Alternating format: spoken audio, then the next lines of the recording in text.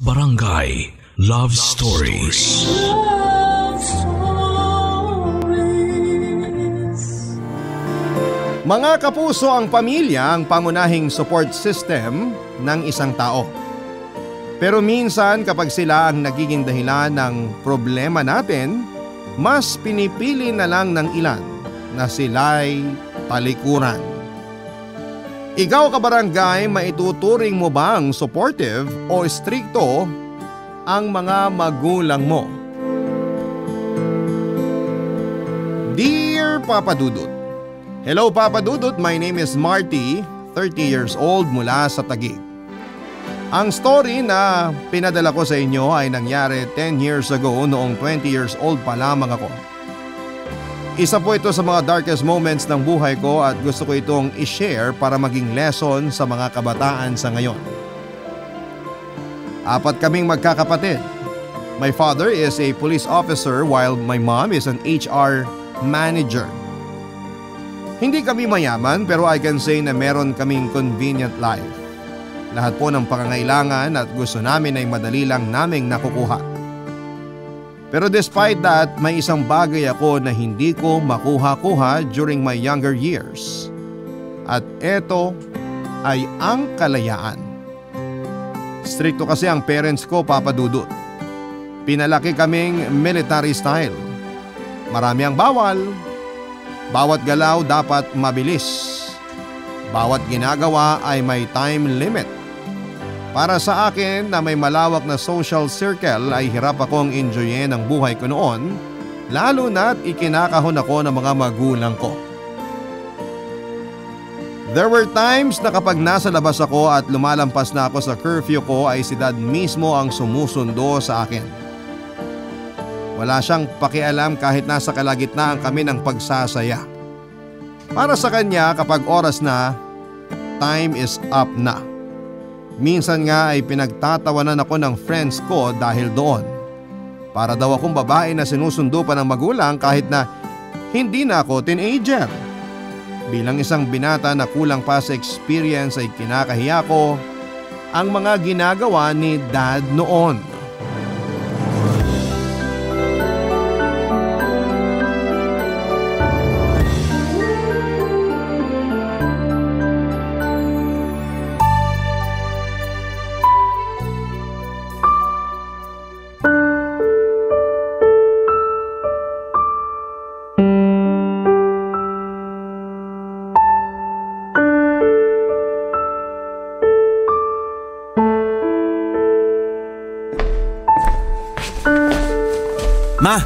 Pwede ba tayo mag-usap? Urgent ba? Busy ako ngayon eh. Marami pa akong papers na kailangan pirmahan. Pwedeng mamaya na lang? Please, kahit ngayon lang, bigyan niyo ako ng time. Fine, ano bang kailangan mo? Kailangan mo ba ng pera? Sa daddy mo ka humingi. Hindi ko kailangan ng pera. Ang kailangan ko freedom. Ma, alam niyo ba kung anong ginawa sa akin ni dad? Ano? Pinahiya niya ako sa harap ng mga kaibigan ko. Nasa bar kami kagabi tapos para kong bata na sinundo niya pa uwi. O anong masama doon? Ikaw naman pala yung sinundo eh. Hindi ba dapat thankful ka na may sundo ka pa? 20 years old na ako. Hindi na ako teenager para sunduin pa. Kaya kong umuwi ng sarili ko lang. Hindi naman kasi yun yung point. Ang gusto ng daddy mo, umuwi ka sa tamang oras na napagkasunduan ninyo. Hindi ba ang usapan nyo by 11 nakauwi ka na? 11pm kakasimula pa lang ng nightlife. Sino namang uuwi ng ganun kaaga? Yung mga anak na marunong rumespeto sa magulang nila, sila yung umuuwi ng maaga. Marty, nagpaalam ka at pinayagan ka kasi nagpromise ka na 11 uuwi ka na. Hindi ka umuwi on time, natural lang na hanapin ka ng daddy mo. Magalit ka kung wala siyang pakialam kahit saan ka magpunta. Sana naman maintindihan niyo ko. Lalaki ako, kaya ko ng sarili ko. Hindi naman ako bata para bigyan ng curfew eh. Mahirap ba nabigyan niyo ako ng time para naman makapag-enjoy ako kasama ng friends ko? Binibigyan ka naman namin ng time ah. Oo, ng limited time. Bakit kailangan ma-expire yung freedom ko? Yung mga kaibigan ko, okay lang naman sa parents nila kahit umuwi sila ng late eh. Bakit ako hindi? Kasi iba ang parenting style nila compared sa amin ng daddy mo. Huwag na huwag mong ikukumpara kaming magulang mo sa ibang magulang dahil magkakaiba kami ng kinalakihan at kinasanayan. Sobrang strict nyo kasi. Mag-chill naman kayo minsan. Dahil sa pagiging strict namin kaya maganda ang buhay niyo magkakapatid. Healthy kayo and safe dahil alagang-alaga namin kayo. Walang masama doon. Meron ma. Alam niyo kung ano? Nawawalan kami ng chance para i-enjoy yung buhay namin. Minsan lang kami tumuntong sa gantong edad. Hayaan niyo naman kaming mag-enjoy habang wala pa kaming sari-sariling pamilya. Never naman kayong nawala ng chance ha. Nakakalabas naman kayo, di ba? Pumapayag naman kami na gumala kayo with friends, with proper caution nga lang. Mas maganda na yung maging safe kesa magsisi tayo sa huli kasi may nangyari na. Prevention ang ginagawa namin ng daddy nyo. Hindi mo kami maintindihan kasi hindi mo pa nararanasan maging magulang. Pero kayo naranasan niyo namang maging bata. Pero bakit hindi niyo ako maintindihan? Naranasan na naming maging bata kaya alam namin kung paano kayo mag-decide kung ano yung mga pwedeng mangyari habang nasa labas kayo. Napagdaanan na naming lahat yan kaya trust us kapag sinabi naming hindi okay ang isang bagay para sa inyo. Pero iba na po ang panahon ngayon compared noon.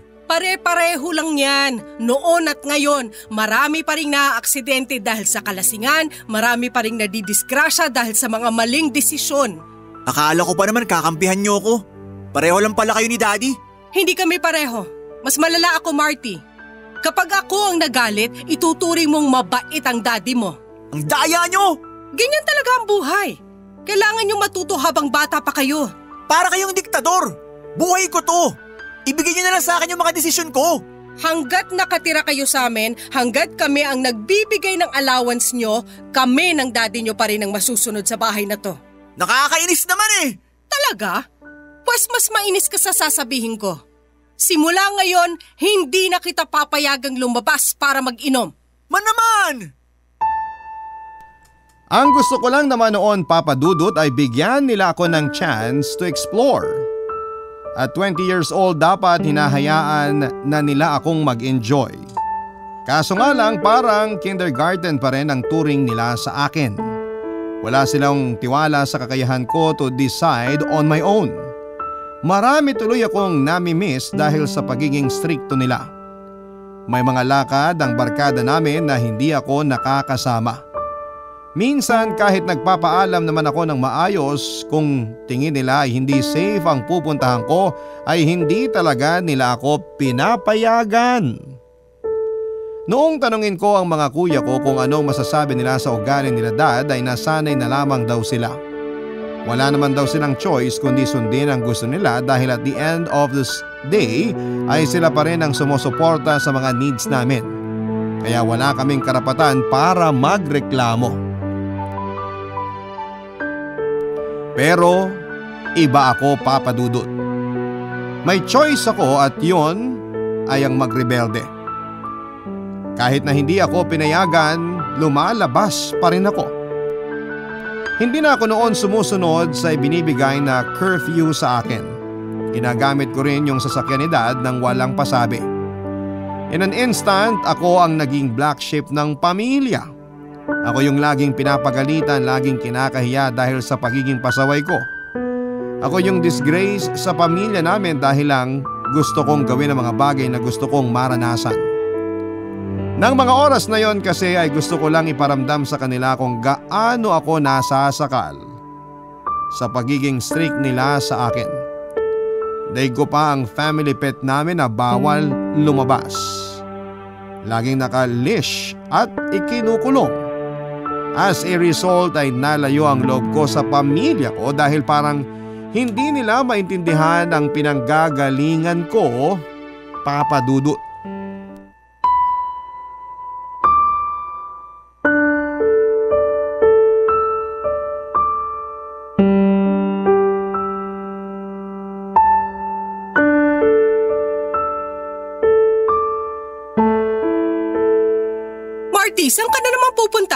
Sa labas po.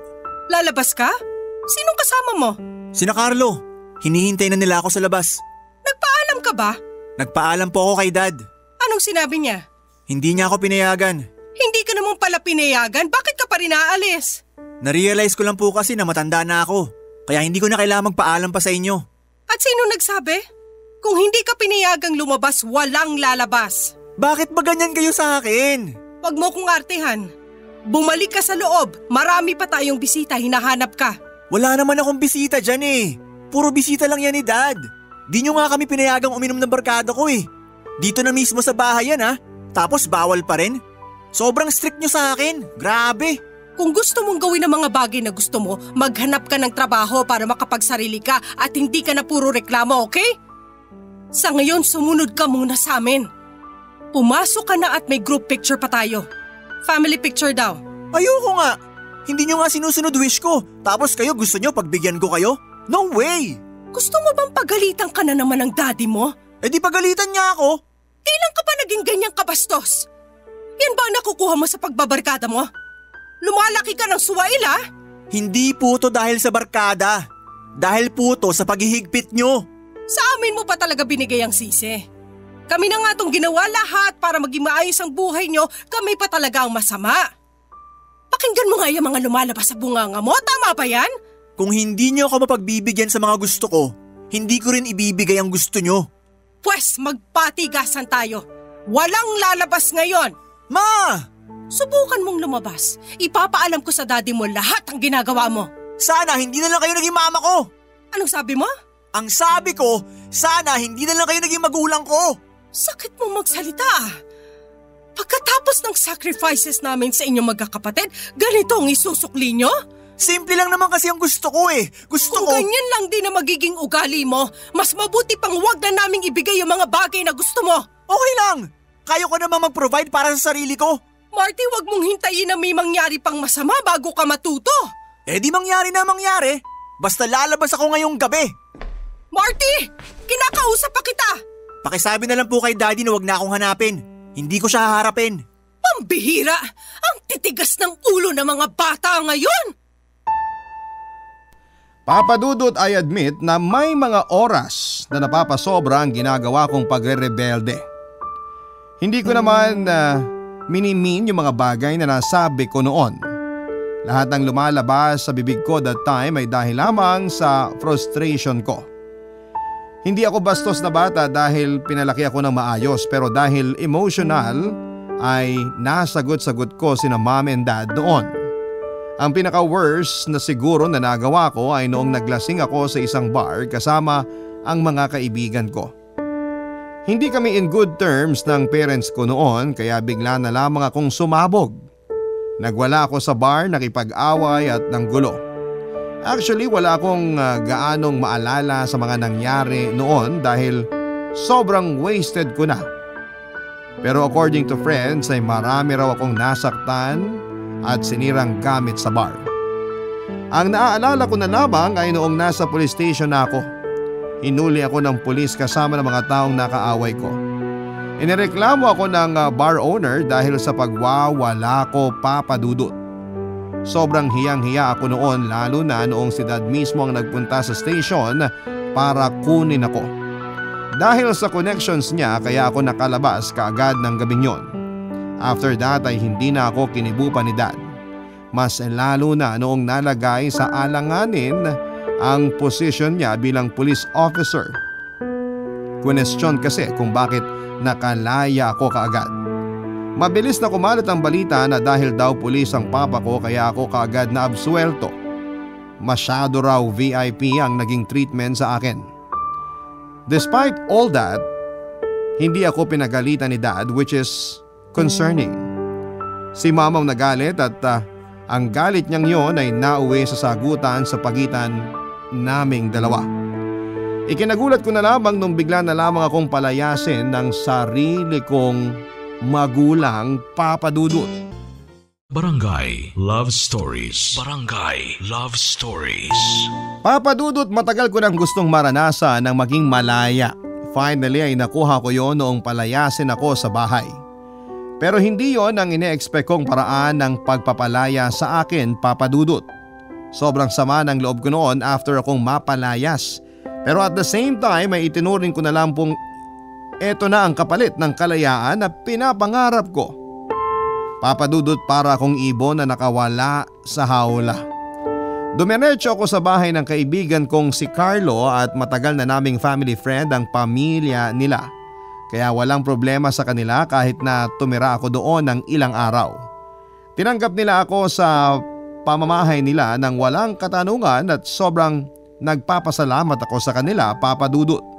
Dahil wala nang pumigil sa akin ay halos gabi-gabi kami kung lumabas ni Carlo noon. Inaabot na nga kami ng umaga sa kakainom sa mga bar. Marami akong nakilalang bagong kaibigan dahil doon. Marami akong bagay na natry sa mga lakad ko with friends. Marami akong lugar na napuntahan dahil wala nang nagre-restrict sa akin. Papadudod for the first time ay naramdaman ko kung paano maging carefree sa wakas ay naranasan ko na ring enjoyin ang buhay ko. Sa mga panahong yon ay saglit na nawala sa isipan ko ang parents ko. Puro alak, pagkain, pamamasyal at kung ano-ano pa ang inatupag ko kasama ang mga kaibigan ko. Wala na nga akong ibang mahihiling pa noon hanggang sa isang bagay ang nakita ko kay Carlo na siyang nagpabalik sa akin sa katotohanan.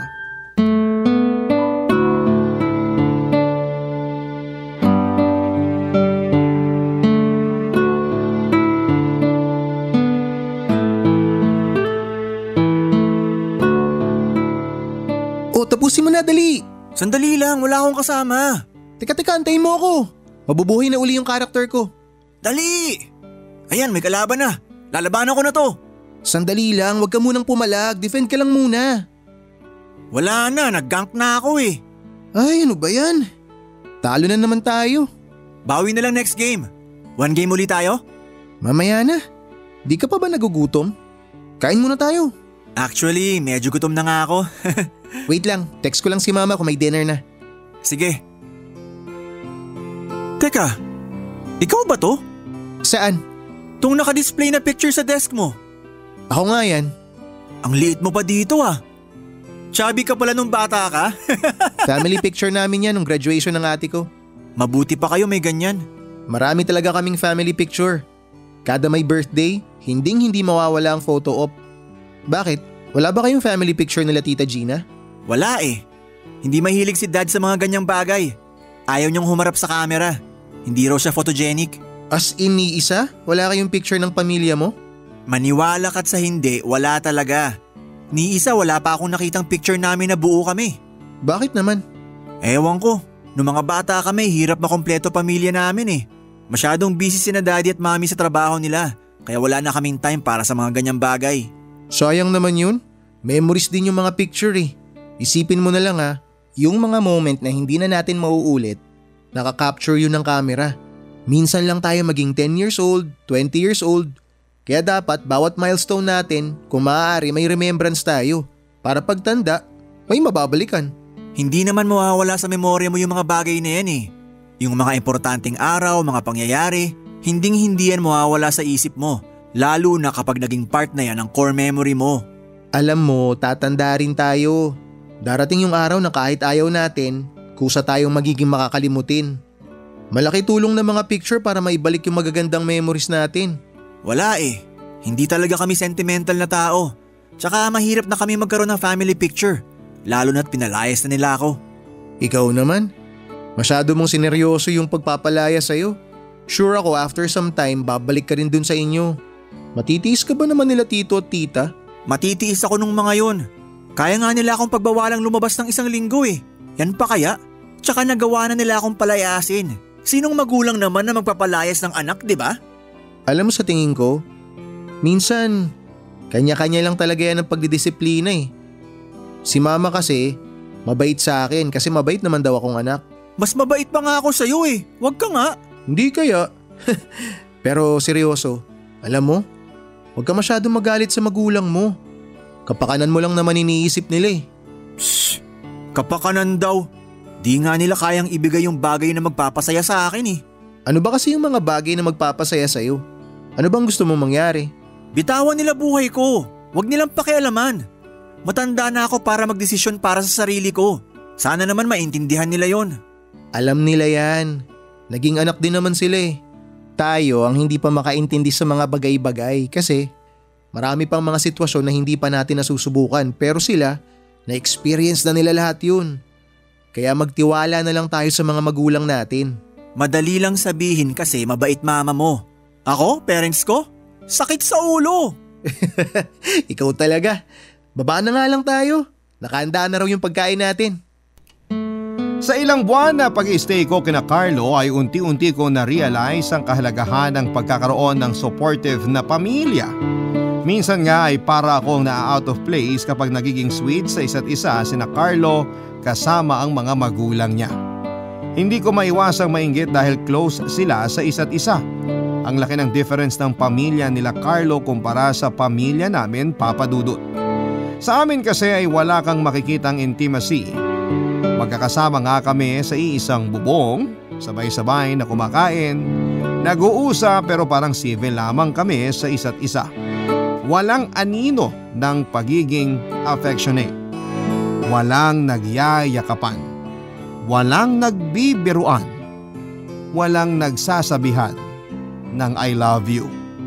Kapag may gumawa noon sa amin ay parang weird tingnan at corning pakinggan.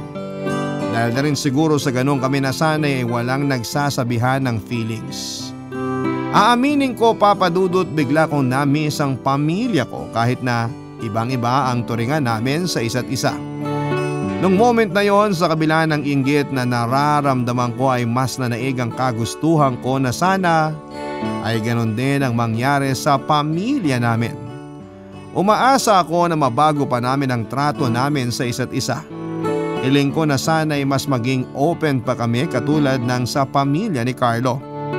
Papadudot alam kong galit pa sa akin ang mga magulang ko noon pero nag-decide ako na umuwi na sa amin para humingi ng kapatawaran.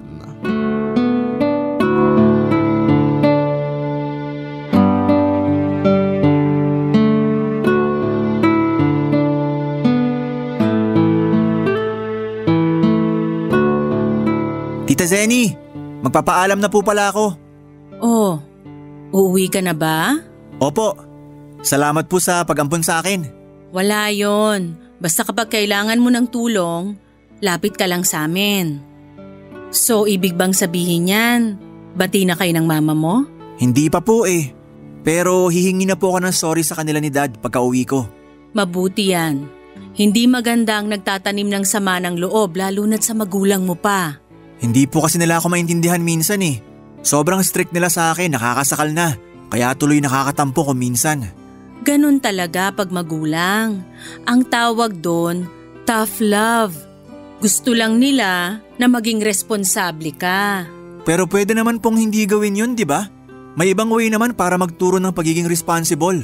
Kayo ni Carlo sobrang close nyo sa isa't isa kasi hindi nyo siya pinagbabawalan. May mga bawal din naman kay Carlo. Actually, Marami. Napapagalitan ko rin siya kapag nagiging pasaway siya. Ang mga magulang kasi, protective yan sa mga anak nila. Minsan over na po kasi yung pagiging protective nila eh. Naiintindihan ko naman sina Gina kung bakit sila ganon. Alam mo ba kung bakit sila extra protective sa'yo? Bakit po? Ilang beses na kasing nalagay sa panganib yung buhay mo. Totoo po ba? Hindi ba nakwento sa'yo ng mama mo? Premature baby ka. Nung pinanganak ka niya, hindi na tumitibok ang puso mo. Milagro nga raw na na-revive ka ng doktor eh. Hindi po nila nabanggit sa akin yan. Kaya doble ingat sila sa pag-aalaga sa iyo noon. Tapos lumaki kang sakitin.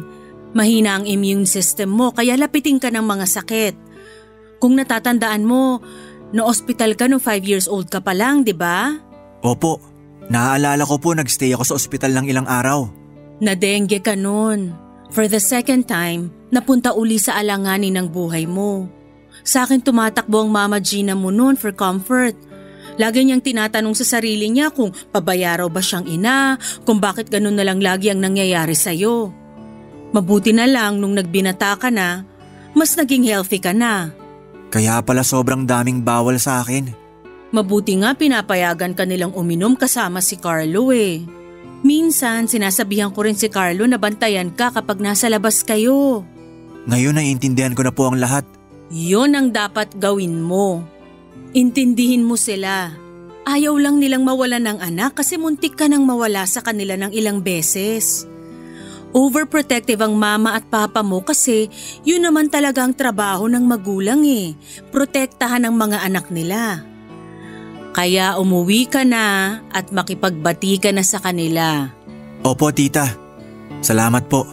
Hindi ko rin sana sasabihin to, pero ipapaalam ko na rin sa'yo. Nung pinalayas ka nila, alam nila na dito ka sa amin didiretso. Secretly, nag-abot sa akin ang papa mo ng allowance mo para may panggastos ka. Ayaw sana niyang ipaalam sa'yo pero mas maganda na rin na malaman mo para hindi mo isipin na pinabayaan kanila. Parang bigla po tuloy ako nahiyang magpakita sa kanila. Bakit naman? Sigurado ako miss ka na rin ng mga yun. Hindi lang nila pinapakita pero concerned na concerned sila sa'yo. Kung ano man ang nagawa mo, Sigurado ako napatawad ka na nila kasi sabihin man nila o hindi, alam nila ang pinagdadaanan mo. Balang araw maiintindihan mo rin ang lahat kapag ikaw na rin mismo ang nagkaroon ng anak. Maraming salamat po tita. Hindi ko po kakalimutan lahat ng sinabi nyo. Pasabi na lang po kay Carlo na mauuna na po ako. Mm, sige, mag-ingat ka. Regards na lang sa mama at papa mo. Opo, Papadudot sa mga nalaman ko ay mas naintindihan ko na ang lahat. Out of concern kaya naging sobrang strikto ng mga magulang ko sa akin. Nag-iingat lamang sila dahil na rin sa hindi sinasadyang trauma na naibigay ko sa kanila dahil sa pagiging sakitin ko noong bata pa lamang ako. Papadudot na realize ko na may kanya-kanyang paraan pala kung papaano magmahal ang bawat tao. Hindi man ito ipinapakita sa akin ng parents ko ay napagtanto ko na indirectly ay pinaparamdam naman nila sa akin sa pamamagitan ng mga paraang hindi ko noon makita-kita. Bumalik ako sa bahay namin at ang unang ginawa ko ay nag-sorry sa mga magulang ko. As expected ay nasermonan pa rin ako pero hindi ko na ito minasama dahil alam kong yun na ang naging love language sa akin nila mom at dad. Sinanay ko na lamang ang sarili ko sa ugali nilang pareho. Nagagalit kapag hindi nila gusto ang nakikita nila. At the end of the day ay para din naman sa ikabubuti ko ang mga ginagawa nila. Hindi nagtagal ay sinubukan kong gawin ang bahay sa bahay ang mga natutunan ko sa family ni Carlo. Binago ko po ang pakikitungo ko sa lahat. Naging open ako sa mga kapatid ko at naging sweet ako sa mga magulang ko. Awkward pa noong una. Tinataasan pa nga ako ng balahibo kapag nagsasabi ako sa kanila ng I love you. Pero kahit nagganoon ay walang katumbas sa mga ngiti sa mata nila mom at dad tuwing ipinapakita ko sa kanila ang pagmamahal ko. Hindi man nila ito ina-acknowledge ay ramdam ko ang saya nila. Sa ginawa kong pagbabago ay naging okay noon ang lahat. Hanggang sa isang araw ay isang isang trahedya ang nangyari sa pamilya namin Papa Dudut. Barangay Love Stories. Barangay Love Stories. Birthday noon ng kapatid ko Papa Dudut. Para i-celebrate ito ay naisipan ng buong pamilya na mag out of town. Nagpunta kami sa Lucena para bisitahin ang mga kamag-anak namin doon sa Quezon sa mother's side. For the first time ay doon ko lang nakita na naging chill ang parents ko. Masaya pala sila kasama kapag wala sa trabaho. Kaya naman pala, kaya naman pala nilang maging masaya at makipagbiruan. Ang araw na yon na siguro ang maituturing kong pinakamasayang araw ng buhay ko kasama ang pamilya ko. Puro tawanan lamang kami at uh, walang bawal. Walang nagmamadali, walang time limit. Doon na rin kami nabigyan ng chance para magkaroon ng family picture. One thing na kinaiingitan ko kay Carlo noon. Plano ko yung ipa-frame para i-display sa bahay namin. Gusto ko rin na magkaroon ng wallet size version nito para may maitago ako sa wallet ko. Pero papadudot, sa likod ng masayang salo-salo ay isang trahedya pala ang nakahandang kasunod nito na never kong ini-expect na mangyayari. Pauwi na kami noon galing sa Lucena, si dad ang nagdadrive habang nakikinig siya ng music. Tulog ang lahat dahil pagod sa nangyaring celebration. Crystal clear pa sa ala-ala ko ang mga pangyayari. Isang OPM ang nasa radyo that time noong marinig ko ang pagsigaw ni mama. Ang kasunod nito ay bigla na lamang akong tumilapon mula sa kinakaupuan ko. Bumangga ang sasakyan namin sa kasalubong naming bus bago kami tuluyang sumalpok sa isang barrier. Papadudot ng gabing yon ay tatlong katao ang nalagas sa pamilya namin.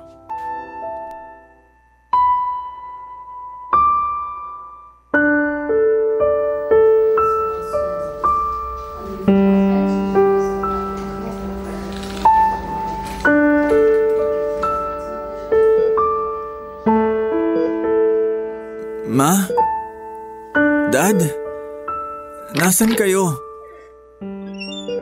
Oh, Marty, gising ka na pala. Thank you, Lord. Nasaan si na dad? Magpahinga ka na muna. Mamaya na lang kita i-update sa mga nangyari. Wala ka bang nararamdamang masakit? Um, gusto mo magpatawag ako ng nurse para i-check ka? Wag na. Medyo mabigat lang ulo ko. Nasaan na si na dad? Okay lang ba sila? Kumain ka na lang kaya muna. Mahigit isang araw kang tulog eh. Sigurado ako gutom ka na. Nagdala si mama ng pagkain para sa'yo kaninang umaga para kainin pagising mo. Carlo, nasan pamilya ko? Okay lang ba sila? Okay lang naman ang ate mo. Galos lang ang tinamo niya. Pupunta na raw siya dito mamaya. Mabuti naman. Eh si dad, nasan sila? Alam mo, sabi ng doktor, kapag nagkamalay ka na, ang una mong gawin, magpalakas. Kaya kumain ka muna bago tayo magkwentuhan. Ano, kaya mo bang bumangon? Bakit mo ba iniiwasan tanong ko? Tinatanong kita kung nasa ng daddy ko. Okay lang ba siya? Safe ba siya? Um... Kasi... Marty... Wala na ang daddy mo. Ano? Wala na si dad? Wala na siya? I'm sorry bro. Alam naman ni Mami. Baka kailangan niya ako ngayon. Puntahan natin siya. Eh, teka bro, hindi ka muna pwedeng tumayo sa higaan mo. Hindi ka pa malakas. Gusto ko makita si Mama. Kailangan niya ako. Naku, paano ba to? Um, mas mabuti pa siguro kung ate mo na lang ang magsabi sa'yo ng lahat. Parang hindi ko kayang ikwento yung mga nangyari. Ano ba yun? Sagutin mo na lang ako. Alam na ba ni Mami na wala na si Dad? Nasaan siya ngayon? Bro, wala na rin ang mami mo. Hindi. Hindi totoo yan. Paano kung wala? Kinakausap pa niya ako noon habang nilalagay ko sa stretcher eh. Anong wala na siya? Pinaglololoko mo ba ako? Hindi rin siya nakasurvive. Hindi. Hindi yan totoo. Hindi yan totoo, Carlo. Please, sabihin mo nagjo-joke ka lang, please. Teka, teka bro, kumalma ka lang. Hindi makakatulong sa'yo kapag na-stress ka. Kaya ayaw ko sabihin sa'yo yung totoo eh. Paano ko kakalma? Patay na mga magulang ko, kakalma ako? Paano ko gagawin yun? Pasensya ka na ha. Hindi ko talaga alam kasi kung anong gagawin eh. Hindi ako sanay sa mga ganitong sitwasyon. Hindi ako marunong mag-comfort. Gusto mo bang iwan na lang muna kita para mapag-isa ka? Sige bro, lalabas na lang muna ako. Tawagin mo na lang ako kapag kailangan mo ako. Hahayaan na lang muna kita magluksa mag-isa. Sandali lang. Sina Kuya Marco, si Kuya Maki. Kumusta sila? Marty. Please, wag mong sabihin pati sila. Hindi ko kaya kung pati sila wala na rin. Si Kuya Maki, nasa ICU siya ngayon. Critical pa rin yung lagay niya. Si... Si Kuya Marco. No! Buhay pa siya, di ba? Sabihin mo buhay pa si Kuya! Patay na rin siya, bro. Sorry talaga. Ano nangyayari? Bakit lahat sila wala na? Ano klaseng joke to? Prank ba to, ha? Kasi kung prank to, hindi to nakakatuwa. Please, Marty, huminahon ka. Joke lang to, di ba? Carlo, Marty! please. Joke lang to eh. Hindi to totoo. I'm sorry bro. Atake sa puso ang kinamatay ni Dad, Papa Dudut. Inatake siya habang nagmamaneho kaya nawala ng kontrol ang sasakyan namin. Dumiretso ito sa kabilang lane kung saan ay nakasalubong namin ang isang bus. Nabangga ang side ng sasakyan namin sa mismong pwesto kung saan ay nakaupo si Kuya Marco. Pagkatama naman namin sa barrier ay doon napuruhan ang mami ko. Naipit siya sa may passenger's seat hanggang sa naubusan siya ng dugo. Samantala ilang linggo namang tumagal sa ICU ang isa ko pang kapatid na si Kuya Maki. Kumato siya noon dahil malala ang naging tama niya sa ulo. Sa uli hindi rin siya nakasurvive papadudot. Anim kami sa pamilya namin at sa isang iglapay apat ang nawala. Tanging ako at ang kapatid kong babae na lamang ang natira sa pamilya namin. Hanggang sa ngayon ay parang masamang panaginip pa rin ang lahat para sa akin papadudot. Hindi ko talaga matanggap na ganon kadami ang nalagas sa mga mahal ko sa buhay. Para kaming bowling pins na tinamaan ng bola at dalawa na lamang ang natirang nakatayo. Dahil sa nangyari marami akong regrets sa buhay. Marami akong naging what ifs. Actually, hindi ko nga alam kung papaano ko nakayanan ang sakit na nangyari. Nalampasan ko ang struggle na yon sa buhay ko dahil na rin sa tulong ng mga kaibigan ko.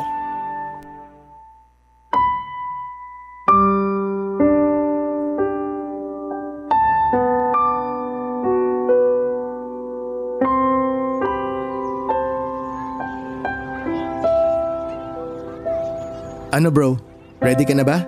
Alis na tayo? Sige, tara na. Salamat talaga Carlo ah. Kasi kahit busy ka, naglaan ka pa rin ng time para samahan ako sa puntod nila daddy. Wala yun. Gusto ko rin namang bisitahin si na tito eh. Oh, ano yung hawak mo? Family picture namin. Nagpa-print ako para may maiwan akong picture namin sa puntod nila. Mabuti naman nagkaroon kayo ng family picture. Sabi mo noon, hirap kayong mabuo kaya wala kayong picture. Nakunan to nung nasa Lucena kami. Sa mismong araw bago nangyari yung aksidente. Mabuti nga napilit ko sila nun eh. Kung hindi, wala na sana akong remembrance sa pamilya ko. Mabuti naman kung ganun. At least may babalikan kang picture kapag malungkot ka. Hanggang ngayon, hindi pa rin ako makapaniwala sa nangyari. Hanggang ngayon parang nasa loob pa rin ako ng masamang panaginip. Ang hirap tanggapin bro. Mahirap talaga yan bro. Lalo na't hindi lang isa kundi apat yung nawala sa'yo. Naiintindihan ko yung sakit na nararamdaman mo. Pero bro, tandaan mo. Huwag mong madaliin yung healing process mo. May karapatan kang magluksa kahit kailan mo gusto. Hayaan mo lang na oras ang magdikta kung kailan matatanggap ng puso mo yung nangyari. Sana nagkaroon man lang ng pahiwatig. Binigyan man lang sana ako ng premonition para kahit papano may nagawa ako. Ang dami kong pinagsisisihan bro. Wala naman nag-expect na mangyayari yun eh. Yun nga eh. Hindi ko in-expect na gano'n ang mangyayari dahil doon na take for granted ko yung mga oras na kasama ko ang pamilya ko. Kung alam ko lang sana na gano'n ang mangyayari, edi sana naglaan pa ako ng mas mahabang oras na kasama sila. Sana nasabihan ko man lang sila kung gaano ko sila kamahal. Sana nakapag-thank you man lang ako sa lahat ng sacrifices na ginawa nila sa akin. Sana nakabuo pa ako ng mas maraming memories kasama sila. Sana, sana nakapag-sorry man lang ako sa mga maling nagawa ko. Kahit hindi mo nasabi yun sa kanila, alam naman nila na mahal mo sila. Alam naman nila na thankful ka, na nagsisisi ka. Kasi kung sincere yung feelings mo, kahit hindi mo sabihin, ramdam nila yun. Ang unfair talaga ng mundo. Sa dami ng pwedeng mangyari sa pamilya namin. Bakit ito pa? Hindi natin alam ang sagot dyan bro kung bakit pero alam ko na may rason kung bakit nangyari sa'yo yun. Kung bakit nangyari to sa pamilya mo. Dapat yun yung sagot na hanapin mo. Anong purpose bakit sila nawala? Anong purpose bakit ikaw ang nabigyan ng second chance? Huwag kang maganap ng masisisi. maghanap ka ng rason kung bakit to ibinigay sa'yo. Kasi yung rason na yun, yun ang magiging lesson sa buhay mo. Lesson na dadalhin mo at ipapamana mo sa mga susunod na henerasyon. Isang aral na masakit ang naging kapalit pero yun naman ang magpapabago sa buhay mo. Sana nga. Balang araw maiintindihan ko rin ang lahat. Nga pala, hindi pa pala kita napapasalamatan sa lahat ng bagay na ginawa mo para sa akin. Salamat bro. Mula sa ospital, sa burol, pati hanggang ngayon, hindi mo ako iniwan. Nanatili ka sa tabi ko para alalayan ako, para bigyan ako ng lakas kung kailan papasuko na ako. Salamat ah. Promise, babawi ako sa'yo. Wala yun bro. Natural lang naman yun. Ganun ako pinalaki ng mama ko eh. Huwag ko raw talikuran yung mga kaibigan ko na nangangailangan ng tulong. Alam ko naman na kapag sa akin nangyari to, huwag naman sana iadya ni Lord pero alam ko na gagawin mo rin kung anong ginagawa ko sa iyo ngayon. Ganun ang kaibigan eh, di ba? Walang iwanan. Maraming salamat talaga. Ano, tara na? Baka mamaya abutan pa tayo ng ulan eh. Balita ako may bagyo ngayon. Meron ba? O sige, tara. Pinilit kong bumangon sa kabila ng mga nangyari. Nahirapan ako mag-adjust noong una dahil biglang naging tahimik ang dati busy naming buhay. Dahil nga sa sobrang trauma na inabot namin papadudot ay naisipan namin ang kapatid kong ibenta na lamang ang bahay namin. Ang perang nakuha namin mula dito ay ginamit namin para kumuha ng kondo na sakto lamang sa dalawang tao. Ang natira ay tinabi namin sa bangko at ginawang puhunan ng kapatid ko para sa kanyang negosyo. Sa ngayon, 30 years old na ako. Pamilyadong tao na po ako papadudot kung tatanungin niyo ako kung paano ako nakapag-move on mula sa mga nangyari sa buhay ko ay hindi pa ako nakakapag-move on papadudot. Hanggang ngayon ay may kirot pa rin nararamdaman ng puso ko tuwing naaalala ko ang mga nangyari. Araw-araw ay nami-miss ko pa rin ang mga kapatid at mga magulang ko. Gabi-gabi ay tinatanong ko pa rin ang sarili ko kung anong buhay kaya ang meron ako sa ngayon kung hindi lang maagang nawala ang mga mahal ko sa buhay. Tanging ang family picture na lamang namin ang natitirang remembrance na meron ako sa pamilyang kinalakhan ko. At nakakalungkot na ang mga ngiti sa picture na yon ay never ko nang makikita kailanman. Papadudot hindi natin hawak ang buhay natin. Nakakalungkot pero yon ang katotohanan. Hindi natin alam kung kailan tayo mamamatay o kung kailan mawawala ang mga mahal natin sa buhay. Masaya man tayo ngayon, sa isang iglap ay pwede itong magbago. Kaya naman kailangan nating maging thankful sa bawat araw na naibibigay sa atin. Huwag po nating sayangin ang oras natin at i-enjoy natin ang bawat araw kasama ang ating pamilya. Ito po ang story ko at sana po ay may lesson po kayong nakuha mula dito. Maraming maraming salamat po sa inyong programa Papa Dudut. Ang inyong forever kapuso at kabarangay, Marty. Nagustuhan ng iyong napakinggan? Ituloy yan via live stream sa www.gmanetwork.com